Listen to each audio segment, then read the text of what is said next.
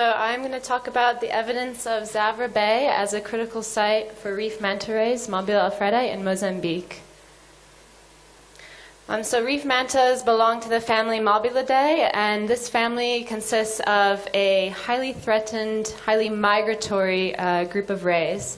Um, it also consists of, of, the reef manta, which is the most recently evolved elasmobranch, and with that comes um, these uh, derived traits such as K-selected life history traits. Um, reef mantas only give birth to one pup every one to two years, and they have extremely late maturation, making them very vulnerable to overexploitation. Um, they also have the largest brain to body size ratio of all fish. Um, and it's made them a, like a very charismatic animal, and they actually have brought a lot of attention to Mozambique through ecotourism. Um, so they're very uh, economically important. Um, in the Inhambane province alone, manta tourism is worth uh, 12.7 million US dollars with an economic impact of 40 million US dollars a year. Um, so they're worth a lot more money alive than dead.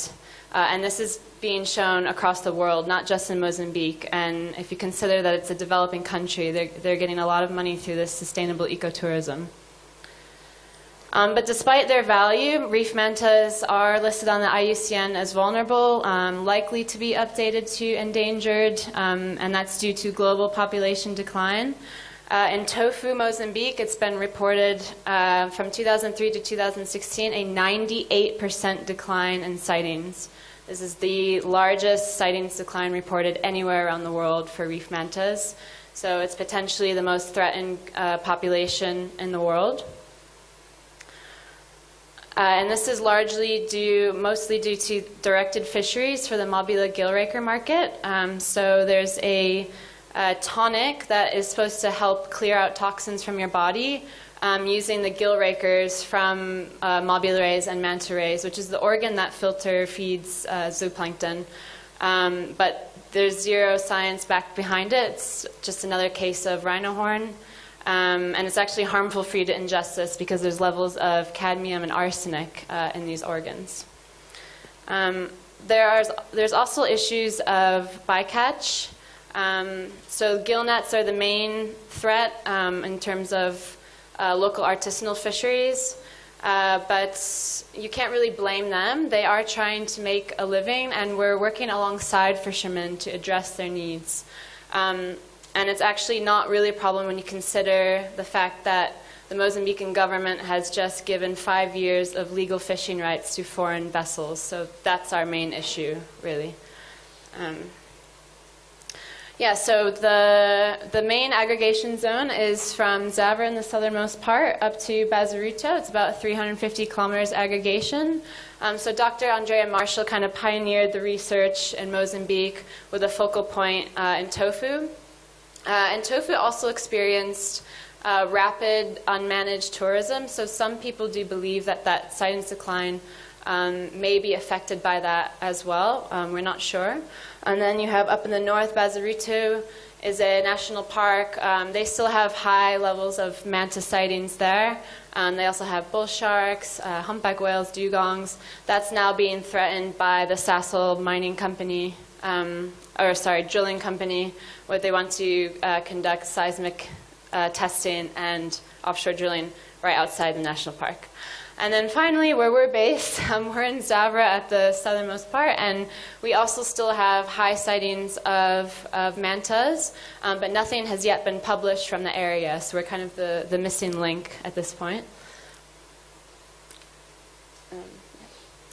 Uh, so we're using photographic mark recapture um, by using their unique and permanent uh, ventral spot patterning. Um, and this is this provides uh, the foundation for manta research across the world. Um, so we're just looking at very basic uh, characteristics of Závora just to kind of see, okay, is this a significant place for mantas? What might be going on there? Um, so looking at males and females, juveniles, etc. And the database is from 2010 to 2019. Uh, and then just quickly to determine between males and females, we just looked at their pelvic fins. So the males have claspers, that, um, and when they're mature, they extend past their uh, pectoral fins. And then the females um, will always have pelvic fins no matter their maturity. So for the males A and B, that's when they're when they're immature. Um, the claspers don't extend past. Females, it's much more difficult to determine maturity because um, we don't have uh, they have their internal reproductive organs. Um, but we're able to um, record when they're pregnant. They're very obviously pregnant. They have a pup that's for mating scars. Um, so just some results. So we found actually a strong seasonality. Um, there was a significant increase of mantis sightings between July and November. Um, and I find even more interesting that actually 97% of our total sightings occurred at one shallow reef. So this is a just a cleaning station um, and only 12 meters depth. So that's extreme site fidelity. Site fidelity. Uh, the past studies in Tofo identified several reefs that they use, but um, in Závora we're only seeing just this one reef. Perhaps there's one that we haven't yet explored, um, but yeah, over a thousand sightings at just this one reef. Um, and we identified 515 individuals from 2010 to August 2019. Um, so if you look at the gray, that's the number of new individuals identified each year, and in black is the number of resightings. So you can see before 2017, um, there's still identifying new rays, um, and you can see the black line is actually the ratio of resights to new new identifications, and that's starting to taper off. So that kind of tells us we're starting to uh, we're seeing way more resights than new IDs. So maybe we're starting to get um, uh, a picture of this population. Uh, and then 41.8% were resighted, um, which is actually quite a high number considering our low sampling effort. We're a very tiny little village with one dive center, and we only go out once a day or once a week, or depends on the weather. But anyway, it's quite a high resight uh, percentage considering that sampling effort. And then 36.5% were resident. That means they were seen across uh, multiple sampling years. Uh, and then the other 63.5% were uh, considered transient, so only seen in one sampling year. Um, so, in addition to that uh, residency and resightings, um, this here is tripod. You can see her uh, spot patterning. looks like the tripod for a camera. Uh, she's been seen a total of 16 times, um, and she was also pregnant at one stage.